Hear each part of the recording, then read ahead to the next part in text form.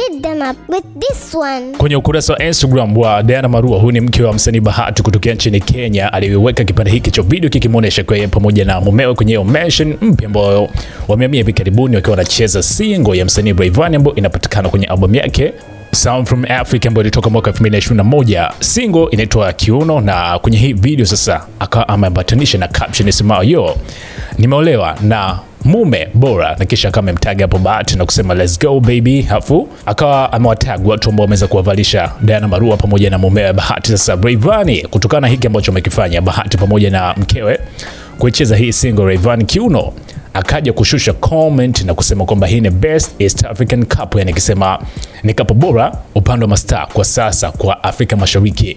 Kama ambavyo tumekuwa tukifahamu, kumekuwepo na tension kubwa sana kati ya wawili hawa, msanii Bahati pamoja na mkewe Diana Marua. Diana Marua akiwa kama YouTuber, lakini kwa sasa ni rapper, na umaarufu kwenye familia hii umekuwa ni mkubwa. Najua jinsi ya kujiimarisha kwenye hii angle ya kuzungumziwa, lakini pia deals ambazo wamekuwa wakizitengeneza wote kwa pamoja, kila mmoja kwenye saidi yake, Diana pamoja na Bahati, na ni miongoni mwa kapo chache kwa nchini Kenya ambazo zimeweza kudumu kwa muda mrefu. Wana familia, hatujai kusikia masuala mbalimbali kama sijui Bahati amemchat Diana Marua ama Diana Marua amemchat Bahati ama kitu chochote tu ambacho kinahusiana na ugomvi kati ya wawili hawa and Rayvanny kusema kwamba hii ni best East African Cup, yani kwamba ni kapo bora kwa Afrika Mashariki kiujumla kwa sasa. Je, yeah, kwa hiki ambacho Rayvanny amekisema hapa unakubaliana nacho ama unampinga kutokana na kapo mbalimbali ambazo umekwisha kuzie experience ama zipo kwa Tanzania, Kenya, Uganda na maeneo mengine kwa East Africa?